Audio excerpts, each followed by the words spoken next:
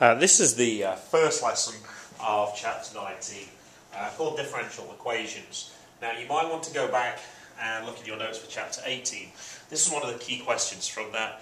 This is one where you have to do integration by parts twice and then at the end you find out you end up with exactly the same integral and you bring it to the other side. But with this being such a key question, um, I thought I'd revisit this at the start of chapter 19.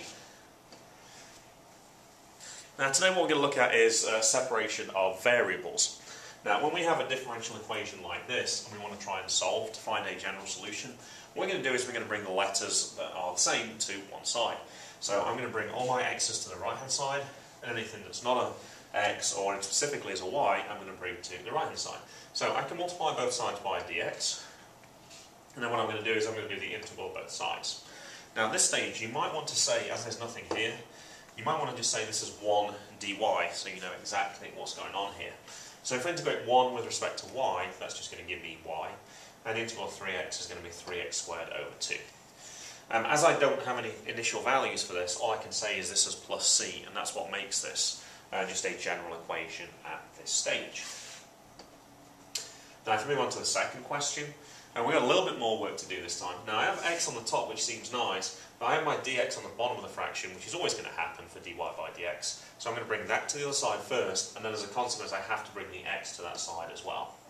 So when I do that, I get 1 over x, integrate both sides, might want to put a 1 again, the integral of 1 is going to be y, and 1 over x you should recognise that integral as the ln of x with absolute values around it. Now for our last question today, um, a little bit more complicated and also we can find a particular solution for this question uh, because I've given you some initial values. Now this time rather than being x and y, this is y and t. So I'm going to bring all my t's to one side and bring the dt up to this side. And then for a question like this, when I'm looking to integrate this, what I should be looking at with the fraction here is the differential at the bottom the same as the top.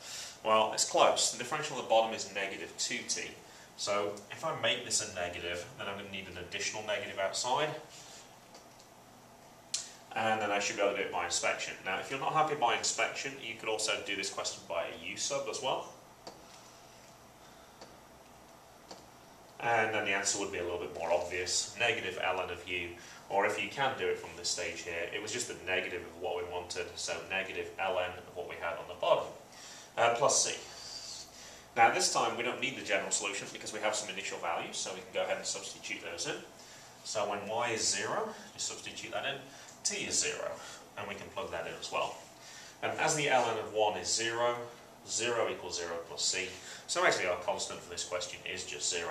So we can say that our equation is y equals negative ln of 1 minus t squared. And it looks like that's just hanging off the bottom of the board. So let me just lower that so you can see that. Now the questions you need to practice on this section, um, I would recommend you do everything from 1 through 6. Now you're going to be doing lots of different questions with integrals on this section, so I could have easily done probably 20 examples here. You could be asked to do trig integrals, you could be asked to do exponential integrals, could be integration by parts, could be partial fractions, could be one where you need to use the double angle identity. So while you're doing this section, you're really going to need to go back and look at all those other sections where you covered uh, integration to make sure that you could answer those questions. Um, I know one question that did cause a few problems was this one. Or something very similar to that. And people weren't quite sure what to do with this question. Uh, the differential on the bottom certainly isn't the differential at the top. So we've got a problem there. We could try splitting this up x over x minus 1 plus 1 over x minus 1. And then this one you can recognise as the ln function. Um, and then we don't know how to integrate that one either. So this one's actually a partial fractions question. So this is a linear factor. And as the power on the top is the same as the power on the bottom, I need a constant term at the start.